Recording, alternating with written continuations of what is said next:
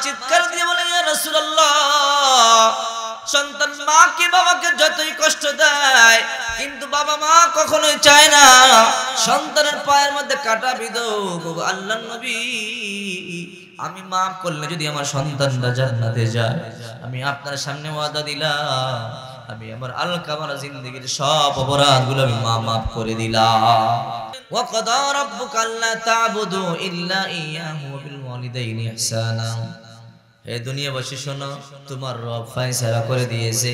আল্লাহ তাবুদু ইল্লা ইয়া আল্লাহ ছাড়া আর কারা গোলামি করা যাবে না। এরপরেই বললেন মোবিল ওয়ালিদাইনি ইহসানা। তোমরা তোমাদের পিতা মাতার প্রতি ইহসান করো পিতা মাতার প্রতি দয়া করো। যত বড় ওলি হয়ে যাও, যত বড় আলেম হও, মুফতি হও, মুহাদ্দিস হও পিতা মাতাকে কষ্ট দিয়ে জান্নাতে যাওয়া যাবে না, ঠিক কিনা বলেন? যত বড় ওলি হয়ে যাও, দরবেশ হয়ে যাও বিশ্বনবী মুহাম্মদ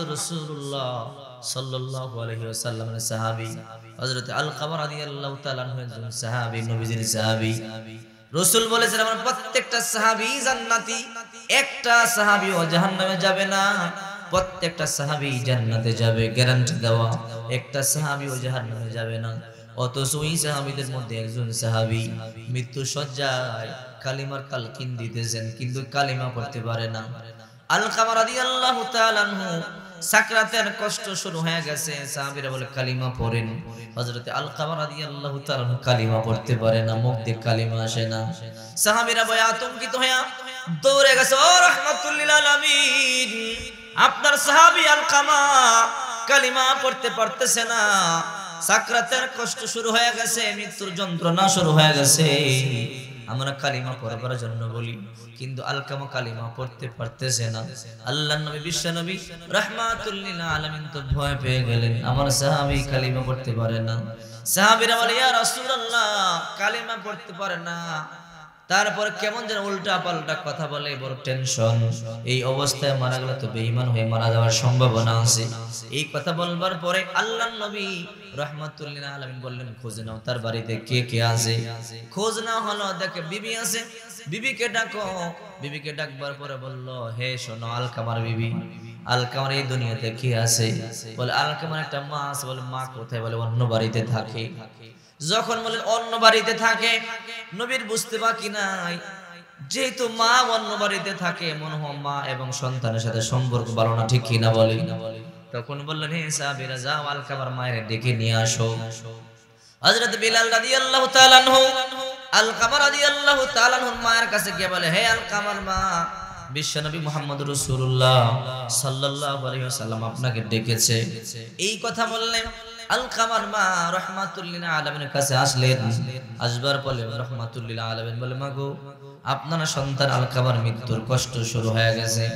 মৃত্যু সজ্জায়, কিন্তু কালিমা পড়তে পারে না। মাগো, আলকামা কি আপনার কষ্ট দিয়েছে? দিলে মাফ করে দেন। তা না হলে সে যত বড় সাহাবি হোক, আলকামা কিন্তু জান্নাতে ঢুকতে পারবে না। যদি আপনি মাফ না করে আলকামার মা বলে, না, আমি তাকে কি মাফ করব? আমি তো তাকে বদদুয়াই দেই নাই। বিশ্বনবী মুহাম্মদ রাসূলুল্লাহ সাল্লাল্লাহু আলাইহি বললেন, মা, নিশ্চয়ই আলকামা আপনার কষ্ট দিয়েছে। আপনি হয়তো ব্যথা পায়া তারে বদদুয়া দিয়েছেন। এই জন্য সে কালিমা পড়তে পারতেছে না। আলকামার মা বলে, নবীজি, না না, আমি মুখ দিয়ে কোনোদিন বদদুয়া দেই নাই। আমি তাকে মুখ দিয়ে কোনোদিন বদদুয়াই দেই নাই। নবী বলে মা গো নিশ্চয়ই আপনার অন্তরের মধ্যে কোনো ব্যথা আছে। যার কারণে আলকামা কালিমা পড়তে পারে না। আপনি মাফ করে দেন। আপনি মাফ না করলে আপনার সন্তানরা জাহান নাম ছাড়া কোনো উপায় নেই। তখন আলকামার মা বলে, কি বলেন? আমি একজন দুর্বল মা। আমি একজন অসহায় মা। তাকে মাফ করলেই কি, না করলেই কি, সে আপনার সাহাবি, আপনার পিছনে নামাজ পড়েছে, আপনার সাথে রোজা রেখেছে, আপনার সাথে হজ করেছে, যুদ্ধের ময়দানে গিয়া আপনার সাথে থেকে যুদ্ধ করেছে, সব সম্পত্তি ইসলামের জন্য ব্যয় করেছে, সে তো জান্নাতে যাবেই। আমি মা, মাফ করলেই কি, না করলেই কি? নবীজি বলে, মা, যতক্ষণ পর্যন্ত তুমি মাফ না করবা, তোমার সন্তান আল্লাহর তৈরি জান্নাতে ঢুকতে পারবে না। একজন সাহাবী এই কথা বললেই আলকামার মা চোখ বেয়ে বেয়ে পানি পড়তেছে, পানি ছেড়ে দিলেন। বলে মা গো, আপনি সত্যি করে বলেন না আলকামা আপনার কি কষ্ট দিয়েছে? তখন আলকামার মা চোখের পানি ছেড়ে দিয়ে বলে নবী গো, আলকামা আমার কষ্ট দিয়েছে ঠিকই, কিন্তু আমি আলকামার আমার মুখ বদুয়া দেই নেই। আমি তোমার এই দুইটা ঠোঁট দিয়ে কোনোদিন আলকামার বদুয়া দেই নাই। নবীজি বলে মা, আপনার অন্তরে যে ব্যথা আছে, ওই ব্যথাতেই আলকামা ধ্বংস হয়ে যাবে। কি দুঃখ দিয়েছে বলেন, তখন মা চোখের পানিগুলো সেরে সেরে বলে, নবী গো, এই আলখামা আমার কলিন কলিজা, সিরা নারী, সিরা দন এই দুনিয়াতে আমার একমাত্র সন্তান আমার আলকামা। সেই ছোট্ট কালে তারা বাবা দুনিয়া থেকে চলে যায়। আমি দ্বিতীয় বিবাহ করি নাই। তার দিকে তাকায়া আমি দেখতে শুনতে সুন্দরী কম ছিলাম না। আর এবার যুবকগুলো আমার বিয়ে করবার জন্য পাগল ছিল। কিন্তু আমি মনে মনে চিন্তা করলাম, যদি আমি আমার যৌবনে তার নাই দ্বিতীয় বিবাহ করি, এই আলকামার তো দুনিয়াতে বাবা নাই। যদি আমি বিবাহ করে চলে যাই আমার সন্তানটাকে কে দেখবে? আমার সন্তানটাকে কে লালন পালন করবে? এই জন্য আমি দ্বিতীয় বিয়ে পর্যন্ত করি নাই। আমি এই আলকামার দিকে তাকায়া আমার জীবন যৌবনটা আমি বিসর্জন দিলাম। আনবী আমার এই সন্তান আমার এতটাই কষ্ট দিয়েছে। কিন্তু আমি কোনোদিন আমার জিব্বা দিয়ে আমি সন্তানকে বদুয়া দেই না। কোন মা জিব্বা দিয়ে সন্তানকে বদুয়া দিতে পারে না। এখন আমি জি এরপর কি করব? যখন আমি প্রতিদিন পাঁচ শত নামাজ পড়বার জন্য অজু করি আল্লাহ নবী, অজু করবার সময় যখন হাতের আস্তিনটা এরকম উপরে উঠাই, তখন আলকামাজ আমাকে মারছে। মায়ের দাঁত যখন বেসে যায় তখন আমার চোখ বেবি পানি পড়ে। তখন মায়ের দাগ গুরু দেখলেই মনে পড়ে, যে সন্তানটার জন্য জীবন বিসর্জন দিলাম, যেই সন্তানটার জন্য যৌবন বিসর্জন দিলাম, ওই সন্তানটা আমাকে তোমার কি করে মারলো? ভগবান নবী, এরপর মুখ দিয়ে বদুয়া দেই না, কিন্তু কলিজাকে তো মানাতে পারি না। সারা দিন হাতের আস্তিনটা ঢেকে রাখি। কিন্তু যখনই অজু করবার জন্য হাতের আস্তিনটা বের করি। মায়ের দাগগুলো যখন চোখের মধ্যে বাসে আমি আমার মুখকে কন্ট্রোল করালো, কিন্তু কলিজারে মানাতে পারি না। আমার কলিজার মধ্যে দাও দাও করে আগুন জ্বলে ওঠে। অনবী এই সন্তানটা আমি আর মাফ করব না গো নবী। সে আমাকে অনেক কষ্ট দিয়েছে, আমি তাকে মাফ করব না। আল্লাহ নবী বললেন, মারে, তুমি মাফ না করলে তোমার সন্তান তো জাহান নামে যাবে। তখন বললেন, সে জান্নাতে যাক আর জাহান নামে যাক, দেখবার বিষয় না। কিন্তু আমি তারে মাফ করব না। নবীজি বললেন, মা গো, আপনি মাফ করে দেন। আপনার সন্তান আর আমার তো সাহাবি।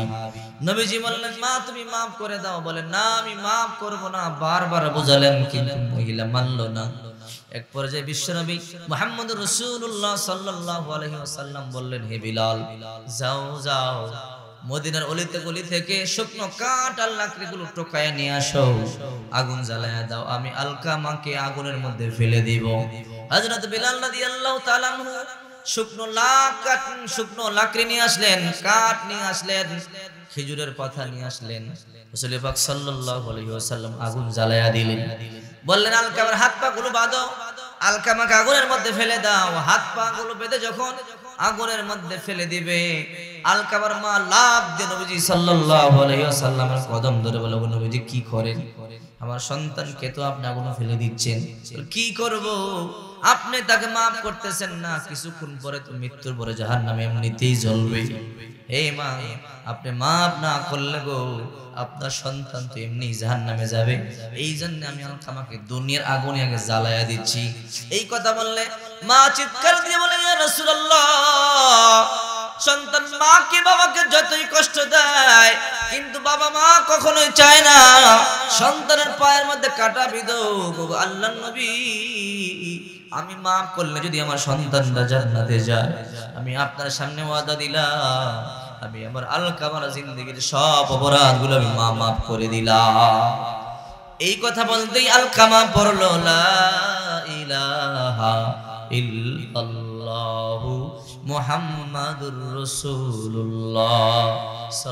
আলাইহি এই জন্য বলি, যুবক নেকামল এত বেশি করা লাগে না। ইমানটাকে খাঁটি করো, আখলিস দিনাকা, ইয়াকফিকাল আমালুল কলিল, অল্প আমলই নাজাতের জন্য যথেষ্ট হয়ে যাবে।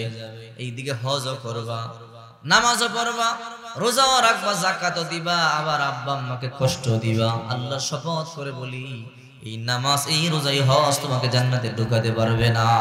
ঠিক কি না একজন সাহাবী গ্যারান্টি যুক্ত জান্নাতি।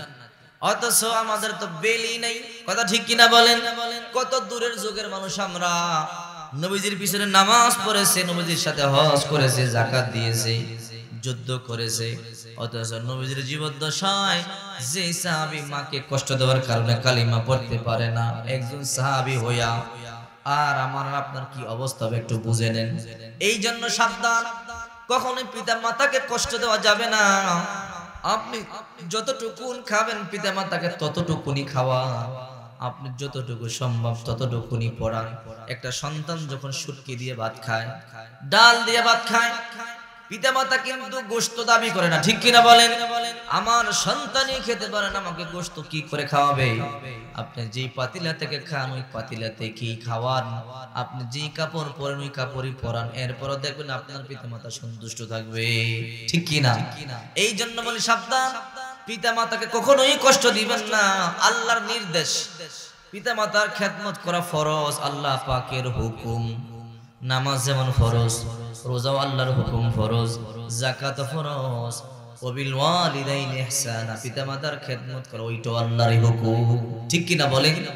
মনে করবেন না? পিতামাতার যদি আপনি খেদমত না করেন, কোনো দায় নাই, না না। পিতামাতার খেদমত না করলে কিয়ামতের ময়দান আল্লাহর দরবারে আপনার দাঁড়িয়ে যেতে হবে। বিশ্বনবী মুহাম্মদ রাসূলুল্লাহ সাল্লাল্লাহু আলাইহি ওয়াসাল্লাম মাঝে মাঝে হাওমা করে কানতেন নবীজি যখন মদিনায় গেলেন, তখন তো নবীজি বড় হয়ে গেলেন, বড় মানুষ। তখন নবীজির ষাট বছর, পঞ্চান্ন বছর বয়স, পঞ্চাশ বছর বয়স। ওই সময় তো বিশ্বনবী মোহাম্মদ রসুল্লাহ করে খানতেন সাহাবিরা বলে রাসূলুল্লাহ, হঠাৎ করে আপনি হাউমাউ করে কেন কাঁদেন? বলে, সাহাবিরা গো, আমার মায়ের কথা মনে পড়ে গেছে। এই সাহাবিরা আমার মা নাই, আমার বাবা নাই। আমি আমার মায়ের খেদমত করতে পারি নাই, বাবার খেদমত করতে পারি নাই। এই জন্য আমার মা বাবার কথা মনে পড়ে গেল। আমি নবীজি আর সইতে পারি না। আমার নবীজি এই জন্য মায়ের জন্য বারবার কানতেন বাবার জন্য কানতেন নবীজি বড় ইতিম ছিলেন। যখন মা হালিমাতু সাদিয়া রাদিয়াল্লাহু তাআলা আনহা সুদূর সেই তায়েফ থেকে মাঝে মাঝে মক্কায় যেতেন আল্লাহ নবী নিজে পাগড়িটা মাথা থেকে খুলে বিছায় দিতেন, সুবহানাল্লাহ। সাহাবীরা বলে, ইয়া রাসূল এই মহিলা কে? কত রাজা বাদশা ঈশা আপনার সামনে দাঁড়ায়া থাকে। পাগড়ি বিছায়া দেন না, কিন্তু একটা জীর্ণ শীর্ণ মহিলা আসলেই পাগড়িটা বিছায়া দেন। বলে, সাহাবীরা রে, আমি আমার মায়ের আদর তেমন পাই নাই। আমি আমার বাবার আদর তেমন পাই নাই। এই মহিলাটা আমার মা। এই মহিলার বুকের দুধ আমি পান করেছি। এই মহিলার হালিমাতু সাদিয়া এই মহিলাকে দেখলে আমার মা বাবার কথা মনে পড়ে যা এই জন্য আমি আমার মায়ের খেদমত করতে পারি নাই। যখন আমি হালিমাতু সাদিয়া আমার দুধ মাকে দেখি, আমি আমার খেদমত করতে মনে চাই, এই জন্য আমার মাকে আমি প্রাণ ভরে খেদমত করি। আমার নবী বড় এতিম ছিলেন, এই জন্য নবীজি মাঝে মাঝে কান্তেন বলতে হে সাবিরা, তোমরা কিন্তু পিতা মাতাকে কষ্ট দিও না, সাবধান পিতা মাতাকে কষ্ট দিয়ে কিন্তু জান্নাতে যাওয়া যাবে না। আমার নবী কিন্তু বড় ইতিম ছিলেন। নবীজি কত দুঃখী, আমার নবী চিন্তা করে দেখেন। নবীজি জন্মের আগেই বাবা চলে গেছে। আল্লাহ রসুল সাল্লাম মাঝে মাঝে আব্বা আব্বা বলে বলে কানতেন মক্কার বালকগুলো যখন মাঠে খেলতেন আল্লাহ নবী খেলাধুলা করতেন না। নবীজি দাঁড়ায় দাঁড়ায় খেলা দেখতেন কিন্তু খেলতেন না। হঠাৎ করে একদিন সন্ধ্যাবেলা ওই মক্কার ছেলেদের বাবা রাইসা সন্তানদেরকে কোলে নিয়ে বাড়িতে যায়। এই দৃশ্যটা দেখে আল্লাহ নবীর কান্না শুরু হয়ে গেল। আমার যদি বাবা থাকতো আমার অত কোলে নিয়ে যাইতো। আমার আজকে বাবার এই জন্য আমার কেউ কোলে নেয় না। এই জন্য ওই দিন দুঃখের বাড়িতে গেলেন না। সাফা পর্বতের দিকে দৌড়ায় আর কান্না করে বলে, বাবা, তোমার আমি কই পাই? তোমার কোলে উঠতে আমার বড় মনে যায়। সন্ধ্যা হয়ে গেল, মা আমেনা চিন্তায় পড়ে গেল, আমার মোহাম্মদ এখনও কেন ঘরে আসতেছে না? প্রতিদিন সন্ধ্যার আগে বাড়িতে চলে আসে। কিন্তু আজকে সন্ধ্যা হয়ে গেল, এখনও কেন আসতেছে না? মা আমেনা ঘর থেকে বের হয়ে গেলেন, বলে, হে আরবের লোকেরা তোমরা আমার মোহাম্মদকে কেউ দেখছ কি না বলো? বলে, না গো, আমরা তোমার মোহাম্মদকে কেউ দেখি নাই। একজন বলল, আমি না, তোমার সন্তানকে সাফা পর্বতের পাদদেশে দেখলাম। আব্বা আব্বা বলে কামনা কর। এই কথা বলবার পরে মা দৌড়ায়, গিয়ে দেখে ছোট্ট শিশু, ছয় বছরের নবী, সন্তান মোহাম্মদ রসুল্লাহ আব্বা আব্বা বলে কান্না করতেছে। মা পিছন দিক দিয়ে হাত দিয়ে বলে, সন্তান কেন কাঁদো? মা গো, আমার আব্বা কই গো? আমার আব্বার কোলে উঠতে আমার মনে চায়। মা বলে, সন্তান কেন? বলে, মা, মক্কার ছেলেরা খেলাধুলা করে, আমি খেলাধুলা করি না। আমি দাঁড়ায় দাঁড়ায় খেলা দেখি। সন্ধ্যাবেলা দেখি ওদের বাবারা এসে কোলে নিয়ে যায়, চুমু খায়। সন্তান বাবার গালে চুমু খায়, বাবাও সন্তানের গালে চুমু খায়। মা, আমার বাবা কই? আমারও আমার আব্বার কোলে উঠতে মনে চায়। আমি আমার আব্বার কোলে চুমু খাব। মা বলে, হে সন্তান, তোমার তো বাবা নাই। তুমি কি করে তোমার বাবার কোলে উঠবে? বলে, মা গো, আমার আব্বা কই? বলে, তোমার আব্বা দুনিয়াতে নাই। বলে, মা, অন্তত আমার বাবার কবরটা একটু জিয়ারত করবার জন্য নিয়ে যাও। আমি আমার আব্বার কবরটা জিয়ারত করলে অন্তত আমার মনে দুঃখটা একটু কমবে। এই কথা বলবার পরে মা মেনা শ্বশুরের কাছে গিয়ে বলে, শ্বশুর আব্বা যান। আপনার নাতিকে আপনি বুঝান। আব্দুল মুতালিব বলে, নাতি, কি হয়েছে বলো? বলে, দাদা গো, আমার আব্বার কোলে উঠতে আমার মনে চায়। বলে, তোমার তো বাবা নাই, কীভাবে উঠবা? বলে, দাদা, আব্বা যান। কই, আমার আব্বার কবর কই? বলে, বহু দূর। বলে, দাদা, একটু আব্বার কবরে পাঠান। আব্বার কবরটা একটু জিয়ারত করলে মনে দুঃখটা একটু হালকা হবে।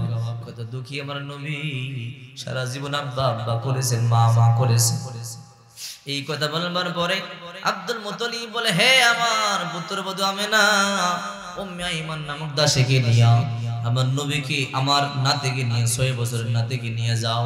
তার বাবার কবরটা জিয়ারত করে, তাড়াতাড়ি কিন্তু চলে আসবা। মা আমেনা, উম্মে আইমানকে নিয়ে, কলিজার টুকরো সন্তানকে নিয়ে যায় লম্বা পথ। আল্লাহ নবী বারে বারে বলে, মাগো, আর কত দূর গেলে গো আমার আব্বার কবরটা আমি পাবো? আর একটু সামনে গেলেই তোমার বাবার কবর। আর একটু যাওয়ার পরে বলে, হে মা, আর কত দূর গেলে গো আমার আব্বার কবর পাবো? বলে, আর একটু দূরে গেলেই তোমার আব্বার কবর। আল্লাহ নবী ছয় বছরের শিশু। বারে বারে বলে, মাগো, আর কত দূর গেলে আমার আব্বার কবর? বলে, আর একটু সামনে গেলে পাইবা। শিশু নবী এমন করতেছে, মনে হয় যেন বাস্তবে আব্বার কোলে উঠবে, পাগল হয়ে গেছে। বলে, মা গো, আর কত দূর গেলে আমি আমার আব্বার দেখা পাইব? কিছুক্ষণ পরে মা মেনা বলে, হে মোহাম্মদ, আমার সন্তান, ওই যে একটা খবর দেখা যায়, এই খবরের মধ্যে তোমার বাবা ঘুমায়। এই কথা বলতে দেরি আল্লাহ নবী ছয় বছরের শিশু। ওটের পৃষ্ঠ থেকে লাভ দিয়া পড়ে যায়, বাস পাকের মতো দৌড়ায় আব্বার কবরে গিয়া ঘোরাঘুরি করে কান্দে আর বলে বাবা, সুদূর মক্কা থেকে আসছি। তোমার কোলে উঠবো বাবা, একটু উঠো, একটু আমার কোলে নাও। বাবা গো তাকায় দেখো না তোমার মোহাম্মদ কত বড় হয়েছে সুদূর মক্কা থেকে আসছি। বাবা, আরব ছেলেদেরকে দেখি বাবার কোলে ওঠে। বাবা ও চুমু খায়, আদর করে সন্তান চুমু খায়, আদর করে। হে বাবা, আমার মনে চায় তোমার কোলে উঠবো। এই জন্য সুদূর মক্কা থেকে আসছি। বাবা, একটু উঠো। আমার একটু কোলে না কান্না করতেছে, কিন্তু শুনে কার কথা। মা বলে, সন্তান, তোমার বাবা উঠবে না। তোমার বাবা আর কোনোদিন উঠবে না। বলে, মা গো, আমার আব্বার একটু বোঝাও না, আমার আব্বা কোলে না নিলে গো, আমি আর মক্কায় কিন্তু ফিরে যাব না। এইরকম করে করে আল্লাহ নবী কাঁদতেছে, আর মাটির মধ্যে গড়াগড়ি করতেছে, বাবা, একটু কোলে নাও, তুমি না নিলে কিন্তু মক্কায় যাব না। মা বলে, সন্তান রে, তোমার বাবা আর উঠবে না। বাবা যে দেশে চলে গেছে, আর আসবে না। নবী বলে মা গো তুমি আমার আব্বার একটু বোঝাও না। মা সন্তানকে বোঝায়, চলো মক্কায় চলে যাই। নবীজি যাইতে চায় না। সন্তানকে জোর করে ওটের পৃষ্ঠে সাওয়ার করায় মক্কার দিকে রওনা। লম্বা পথ আল্লাহ নবী যেন বরাবর লাভ দিয়ে পড়ে যা আর বলে, মা গো, আমি যাব না। আমার আব্বার কবরের সে আমার রেখে যাও। আমার আব্বা কোলে নিয়ে আদর না করলে আমি আর মক্কায় যাব না। মা সন্তানকে বুঝায়, উটের বৃষ্টি সাবান করে মক্কার দিকে রওনা। আবা নামক জায়গার মধ্যে যখন আসলেন, মা মনে বলে, হে কাফেলা থামাও। আমার কলেজে ব্যথা, কাফেলা থামাও। কাফেলা থামাইয়া বলে, আমার মুখের মধ্যে পানি দাও, পানি পান করব। মা আমেনা পানি পান করলেন, মাথার মধ্যে পানি ডাললেন ডেকে বলে উম্মে আইমান রে, আমার কলেজে ব্যথা। মনে হয় আমি আর মক্কায় যাইতে পারব না রে। আমার অবস্থা বড় খারাপ। আমি আর মক্কা যাইতে পারব না রে। আমার মুহাম্মাদের কি হবে? আমার মুহাম্মাদের তো বাবা এই দুনিয়ায় নাই, আমি মা যদি চইলা যাই, আমার সন্তানটা রেখে দেখবে রে? আমি আইমান রে মা দাদে আমার সন্তানটারে দুনিয়ার কেউ নাই রে। তারা দাদার কাছে নিয়ে আমার হিসেবে ফিরাইয়া দিবি। আমি আইমান বলে অগো আমি না, ওয়াদা দিলাম। আমি মোহাম্মদকে কষ্ট দিব না, তার দাদার কাছে ফিরাইয়া দিব। আল্লাহ নবী মায়ের গলার মধ্যে জাবরা ধরে কান্না করে বলে, মা, কেন কাঁদো? তোমার মনে কি দুঃখ আমারে বলো? মা বলে, সন্তান, কথা গোপন করে লাভ নাই, মোহাম্মদ। ছয় বছরের শিশু নবীকে মা বলে, সন্তান, আমি আর যেতে পারব না। আমার কলেজের মধ্যে ব্যথা, বাবা। আমি তোর খেদমত করতে পারলাম না। মা হিসাবে আমি তোর খেদমত করতে পারলাম না, আমারে মাফ করে দেশ এই কথা বলতেই শিশু নবীর মাথার মধ্যে যেন আসমানটা ভেঙে পড়ল। হায় হায় বাবানে কোনোদিন দেখলাম না। জন্মের আগেই বাবা নাই। বাবার কবরটা জিয়ারত করে কলিজারা একটু হালকা করতে চাই। আর এই অবস্থায় মা বলতেছে, মাও নাকি বাঁচবে না। আল্লাহ নবী কান্না করতেছেন। এই অবস্থায় আল্লাহ নবী চিৎকার করে বলে, মা, তুমি জানো, আমার বাবা নাই, আমি কার কাছে যাব? মা, আমি না তোমার বুকে যাব রে দূরে ঘুমাই ঘুমা ওগো মা, জন্মের আগেই তো আমি আমার আব্বারে দেখি নাই। আমি তোমার মুখের মধ্যে জড়ায় ধরে ঘুমাই। তুমি আমার খাওয়ান খাওয়ায় দাও। হে মা, তুমি না আমার গোসল দাও। তুমি না আমার মাথা আশ্রয় দাও। ওগো মা, তুমি না আমার কাপড় পরায় দিতা। তুমি চইলা গেলে গো, এই মক্কে আমার বাবা নাই গো। তুমিও চইলা গেলে আমি কোন করে যাব? কে আমার আদর করবে, কে আমার যত্ন করবে? কে আমি কার বুকে ধরে ঘুমাবো? কে আমার খাবার খাওয়ায় দিবে? হে মা তোরা নিষ্ঠুর, তুমি হয় না। মায়ের বুকের মধ্যে জড়ায়া মোহাম্মদ রসুল্লাহ সাল্লাল্লাহু আলাইহি ওয়াসাল্লাম দিন ছয় বছর ভালো।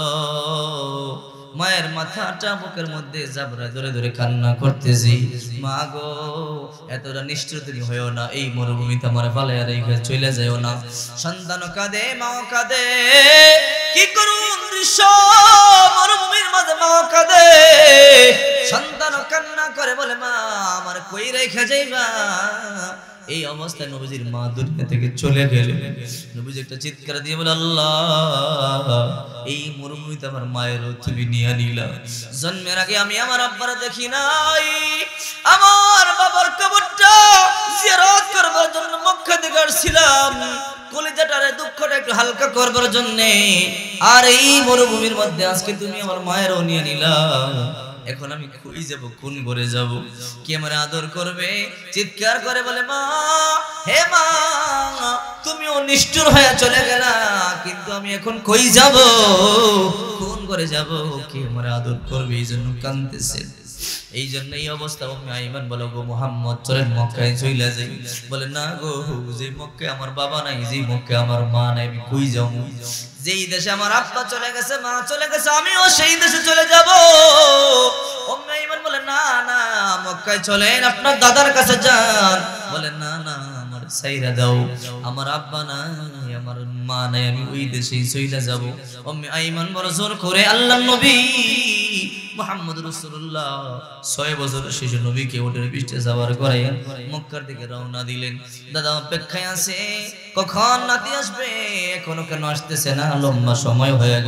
অনেকক্ষণ পর দেখা যায় আসতেছে। কিন্তু এর মধ্যে পাঠাইলাম তিনজন, দেখা দেয় দুইজন। পুত্রবধূ নাই। পুত্রবধূ কই? পুত্রবধূ কই? কাফেলা যখন কাছাকাছি চলে আসছে আল্লাহ নবী উটের পৃষ্ঠ থেকে লাভ দিয়ে দৌড়ে দাদার কাছে গিয়া গলার মধ্যে জড়াইয়া কান্না করে বলে, দাদা, এই দুনিয়া আমার কেউ আর রইল না গো দাদা। কি হয়েছে তোর না বল? গলার মধ্যে চাপড়ে ধরে বলে, দাদা, গেছিলাম বুকের কষ্ট হালকা করবার, বাবার কবর জেরত করবার। কিন্তু রাস্তা যাব, কোন করে যাব? কি আমার আদর করবে, কি আমার যত্ন করবে, কি আমার ভালোবাসা দিবে? কার বুকে চড়ে ঘুমাবো, কি আমার খাউন খাওয়াই দিবে? কি আমার গোসল দিবে? দাদা, আমার মতো দুঃখী আর কি আছে বলেন না। আল্লাহ নবী ছয় বছর বালক। দাদার গলা ধরে ধরে যখন এরকম কান্না করতেছি, দাদা বলে, নাতি, কাঁদিস না। হে নাতি, কাঁদিস না। আমি আর তোর বাবা মাকে আনতে পারব না। কিন্তু আদা দিলাম, যতদিন তুমি বেঁচে থাকব, ততদিন তোর মুখে খাবার না আমি দাদা, কোনোদিন খাবার খাব না। কত দুঃখী আমার নবী। জন্মের আগে বাবা হারাইলেন। জন্মের ছয় বছর বয়সে মা নাই। দাদা লালন পালন করতেছেন, আদর করেন। কিন্তু কয়েকদিন পরে দাদাটাও দুনিয়া থেকে চলে গেছেন মাত্র তিন বছর পরে চলে গেলেন তখন নবীজির বয়স মাত্র নয় বছর। দাদারে হারাইয়া নবীজি যেন দিশে হারা হয়ে গেলেন, কই যাব? মা নাই, বাবা নাই, দাদা ছিল, দাদি ছিল, আজকে দাদিও নেই, দাদাও নেই। আমি কই যাব গো? কে আমার আদর করবে, কে যত্ন করবে? ঘর থেকে বের হয়ে গেলেন খেজুর গাছের নিচে দাঁড়ায়া খেজুরের বৃক্ষ ধরে ধরে কাঁদি। আর বলে, হে খেজুর গাছ, বল না, আমার মতো দুঃখী আর কে আছে? আমার মা নাই, আমার বাবা নাই, আমার দাদা নাই, আমার দাদি আমি যাব নবীজি। কান্নার আওয়াজ হঠাৎ করে বেড়ে যায়। কান্নার আওয়াজ যখন বেড়ে যায়, চাচা আবু কান্নার আওয়াজ মনে মনে ভাবলেন, কে কান্না করে? দেখি তো ঘর থেকে বের হয়ে গেলেন। ঘর থেকে বের হয়ে দেখে তিন বাতি যা মোহাম্মদ, খেজুর গাছের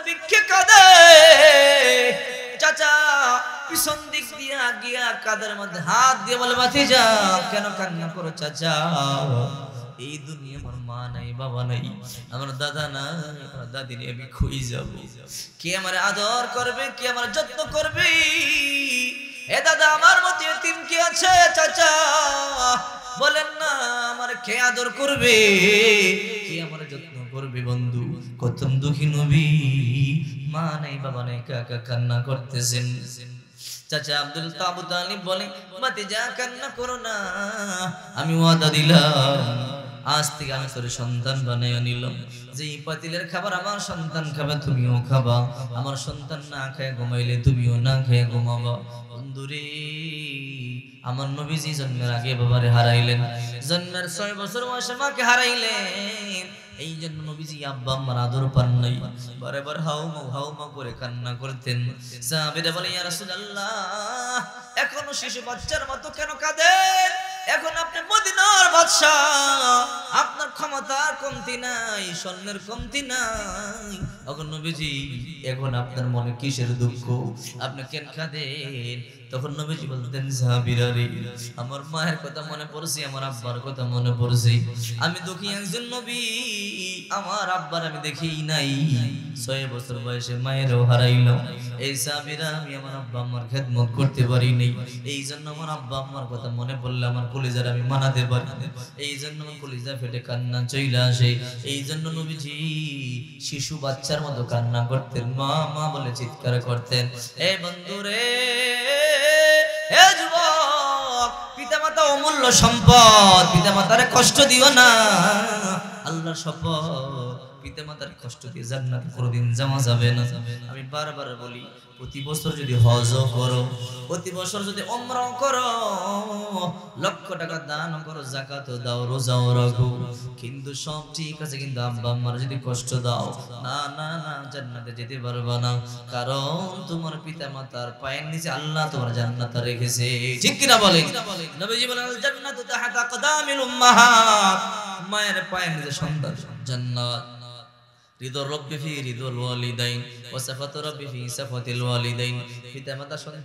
আল্লাহ সন্তুষ্ট হয় আর পিতামাতা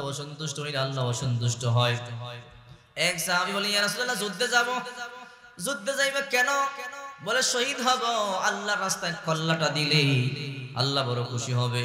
কিয়ামতের ময়দানে দাঁড়ায় যাব যে আল্লাহ আপনার জন্য জীবনটা উৎসর্গ করেছি। তখন নবীজি বললেন, তোমার কি আব্বা আম্মা জীবিত আছে? বলে হ্যাঁ আছে। যাও, আব্বা আম্মার খেদমত করো, জিহাদে যাওয়া লাগবে না। যুদ্ধের ময়দানে গিয়ে শাহাদাত বরণ করলে যেই নাকি, এর থেকে বেশি নাকি পাইবা আব্বা আম্মার খেদমত করলে।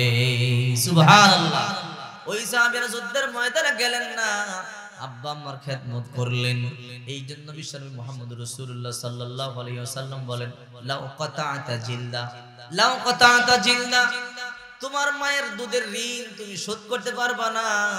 যদি তোমার গায়ের চামড়া কেটে টুকরো টুকরো করে রোদে শুকোতে দাও, এরপরে যদি তোমার মায়ের জুতাও বানিয়ে দাও, এই যে দুই বছর দুধ পান করেছ, এক ঢুক দুধের ঋণ তুমি শোধ করতে পারবে না। অথচ আজকে এই সন্তানগুলো পিতা মাতাকে কষ্ট দিচ্ছে, ঠিক কিনা বলে এই জন্য বলে, যুবক, কখনো পিতা মাতাকে কষ্ট দিবা না। পিতা মাতা যেভাবে খুশি হয় ওই রকম তুমি চেষ্টা করবা। তোমার আব্বা সব সপ্তাহে তাবলিগে যাবে, সব গুজারিতে যাবে বৃহস্পতিবার। বুধবার রাত্রে তোমার আব্বার পকেটের মধ্যে পাঁচশো টাকার নোট ঢুকাইয়া দাও, ঠিক কিনা বলি সকালবেলা যখন ঘুম থেকে জেগে পকেটে হাত দিবে পাঁচশো টাকা নোট, তোমার আব্বা তো বোকা না। বাইরের ছেলেরা এসে তোমার পকেটে টাকা ঢুকায় না এই ঢুকাইলে আমার সন্তান আব্দুল্লাহ ঢুকাইছে, ঠিক কিনা বলি তখন তোমার আব্বা একটা দোয়া করবে, আল্লাহ সন্তানের কাছে চাওয়াই লাগল না আগামী কালকে আমি সব গুজারিতে যাব।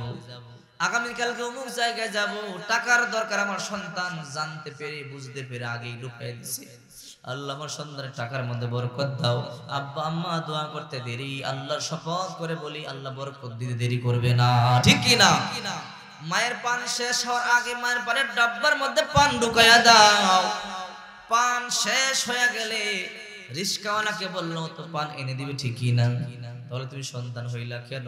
খেদমত তাকেই বলে, পান শেষ হওয়ার আগেই পান এনে দাও। মায়ের গ্যাস্ট্রিকের ট্যাবলেট দুইটা বাকি অন্য গ্যাস্ট্রিকের ট্যাবলেটের পাতা এনে দাও।